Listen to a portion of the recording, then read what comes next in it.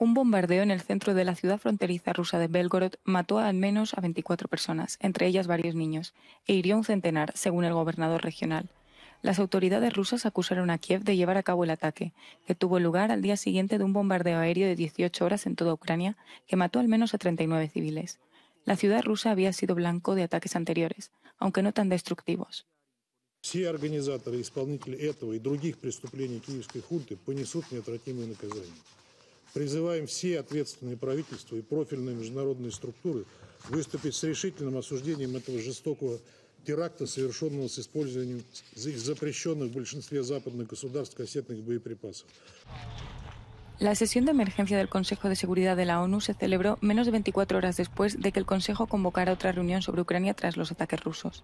Las autoridades militares rusas informaron de distintos ataques nocturnos con drones en las regiones de Briansk, Oriol, Kursk y Moscú.